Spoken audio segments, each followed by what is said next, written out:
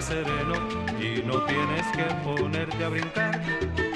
Y es por eso que al bailarlo se siente sabroso con su ritmo suave y cadencioso y jamás encontrarás otro igual. Yo no quiero que luego me digas que tú no sabías que era bueno y que era rico mi son. Prepárate, no te precipites